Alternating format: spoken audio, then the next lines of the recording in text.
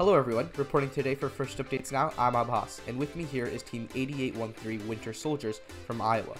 They just have an incredibly amazing robot both on the hardware and software side. They're getting ready for the Iowa State Championships, and we're going to talk about how they were able to make such a compact, efficient scoring machine, and how they decided to switch from a previous design into a new robot. All that and more coming up on First Updates Now. This video on First Updates Now is made possible by viewers like you and also the following sponsors. SOLIDWORKS is free for first teams. Over 80% of US engineering schools and 370,000 plus companies use SOLIDWORKS to design great products. SOLIDWORKS can help you design a great robot on desktop or on the cloud. Go to solidworks.com slash first to register your team. Check out our all new FTC content coming to Fun's YouTube, including new hosts from the FTC community. We'll have resource guides, top 10 moments, behind the bots interviews, and walkthroughs to help your FTC team improve at youtube.com slash first updates now. Okay, guys, let's get started with your new robot. So first, walk us through the drivetrain very briefly. Uh, you know, what's special about it? How'd you get it to be so compact? What were some of the challenges you faced with it?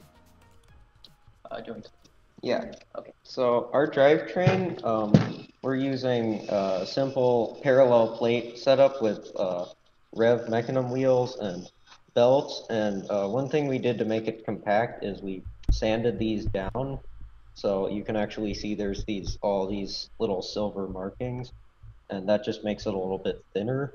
And then we also have this odometry system, which we um, we custom made our own uh, casing for the encoder so that we could make it as small as possible.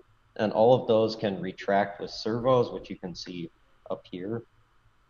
Yeah, wow, that that's really incredible. So, I mean, this whole robot just like screams compactness. And so, one question I have for you regarding this is this is obviously your second generation robot. We can see the old one uh, on the side of the table. And so, when going from that design to here, compactness was a factor as, as you can tell. And so, what packaging challenges did you have between going from that circular drivetrain to this more traditional parallel plate style?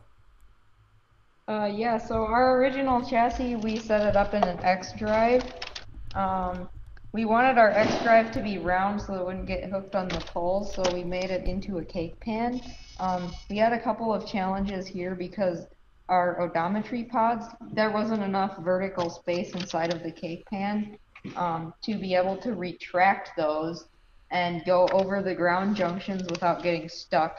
So we thought about still having a round robot, but um, just being able to fit those odometry pods was not going to be very pra- practical mm-hmm. in this of a cake pan. So. so, so when you mentioned cake pan, you mean you guys use like a cake pan as the foundation of the chassis, or it's just like the shape of a cake pan? Uh, it actually is the foundation of the chassis. Um, wow. We found a 15 inch cake pan on a Webstaurant store.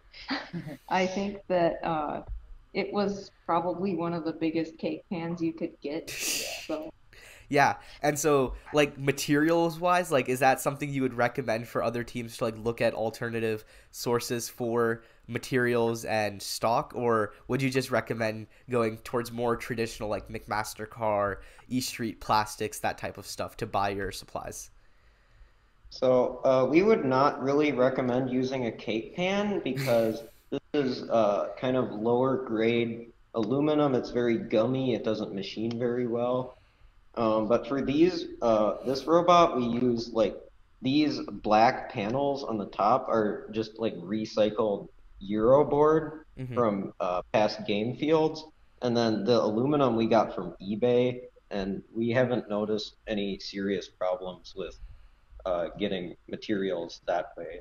Got it. Yeah. And so one final question I have about your guys' drivetrain before we jump into the rest of your robot is about your motor selection. So I know most teams I'd say most teams tend to go with like the Yellow Jacket or NeveRest motors, but I see you guys are running those Rev Ultra Planetaries. And so, was there like a was that another compactness reason, or was that just something because you guys have used those in the past, you stuck with them? Yeah, so they are actually are a bit more compact than the goBILDA motors because they don't have the shaft sticking out. So you can see we have the pulley, it's bolted on to the hub, and then it just basically ends there And also, we wanted the um, we like the uh, swappable gear Cartridge, ratios, yeah. and we also like that it has a like removable connector, Mhm. so that makes it more modular, and we can pop out this whole motor assembly with just I think three screws, Got it. and that way we can do maintenance. Yeah. Well, there's so much more to talk about on this robot, so let's jump into your intake system. Uh, you guys have a, again, just extremely compact design and mechanically so sound. So walk us through it. Let's start with the extension and then go into the rest of it. So, yeah, sure. So our extension is really very, um, it's very reliable. We don't have any string rigging on here. Instead, we've chosen to use a high-speed lead screw to drive the arm in and out, so it makes this whirring sound when it comes in and out. And um, so on the very front, we have a belt drive for the lead screw. We decided to keep the belt drive nice and loose because that way it is more efficient and it doesn't bend the lead screw out. Overall, this design is a lot like on a 3D printer. If you look at your 3D printer Z axis, a lot of times they have a lead screw that sticks up and it's not supported on the top side, but it's supported by the motor. So in order to make this as efficient as possible, we only have it supported at the end. That way, like any uh, time it needs to flex, it has some room to flex. Um, we tried it with a bearing in the back, but it was just a lot less efficient. Yeah, that that's really innovative. I haven't seen really any other teams. I know we ran lead screw for our lift uh, back in Rover Ruckus, but since then it hasn't been a popular option with the rise of you know string and pulleys and all of this. So. Uh, from a programming perspective, wow, yeah, that is just so fast. So, from a programming perspective, how does it look? Is it are there any challenges that you need to give advice for to teams that are looking to implement a similar system, or was it really pretty simple? Um, I would say it was really simple. Like you don't even we are just using the motor encoder because it's such a tight coupling with the slide that it gives us perfect position. And then from there it was just we have a simple custom PID, and Yeah. that was really all we needed. Yeah, I mean, then easy does it sometimes, right? So that's fantastic. Going on to your arm for the intake, walk us through some of the hardware. I know it's changed a little bit throughout just this robot itself. So talk about the decision behind that, and yeah, let's talk about it. This arm or the deposit? Let's do the intake arm now, and then we'll talk about the deposit. So this arm, as you saw earlier, can extend, but it can also uh, pivot this way, this way. So when it grabs a cone, it's able to grab it and sort of spin it onto the deposit. And just recently, we added these two servos right here to uh, minimize the. Um, just now, we've added this these servos to minimize the amount of like bounce it has when uh, it goes down and to make it more precise at which position it can reach. hmm So pre- previously we were using a core hex motor to power this arm, and it was actually astonishingly good for the price of the motor, but it had a lot more backlash. And what we found is um, when you give it less power, it has lower, basically torque that it can handle. So it would not be able to reach precise positions when you had to give it very small increments of power to reach that position. So we have instead now these Axon servos, which we found handle it a lot better. And we also added this um, surgical tube counter spring that kind of pulls it up and just makes it a little bit a little bit easier on the servos. Sure. And so, talking about like a programming perspective of your entire intake subsystem, you know, extension, claw, arm, wrist, everything. What uh, what automations do you guys have that are just really really helpful? Because looking at your teleop, I mean, you guys just don't miss cycles. Like every single cycle you score, it's super smooth, super fast, very impressive. So in Teleop, some automations we have are we have this distance sensor which can detect uh, right here when the when the cone is close enough, and then it just automatically closes the claw, brings the arm up, rotates it, That's actually powered on and just in the and takes it into the deposit. hmm Yeah, and uh, and then in autonomous, do you just use like pretty much the same methods and algorithms as you do in Teleop? Wow, yeah, that's just so smooth. Yeah. Um, but so yeah, what I was saying is in autonomous, just pretty much the same algorithms that you use in teleop, you copy over into your autonomous programs. It's pretty much the same except for the arm height. Yeah. Got it. Got it. And so now jumping into your deposit, walk us through the hardware behind that. Uh, you know, talk about the transfer process. You guys seem to have it down to a T. So that's one of the most difficult things for teams to get always. And I'm sure there's a lot of insight we could get from you guys. Yeah, so our transfer, we worked really hard on trying to get it to be fast. One of the things that we found absolutely essential to getting our deposit to work was running slow mo video tests. So we would set up our robot on the field or or just on the floor at home, and we would set a cone in front of it, and we would try to cycle. And what what we would do is we would watch it and see where the cone was going besides the deposit when it wasn't working.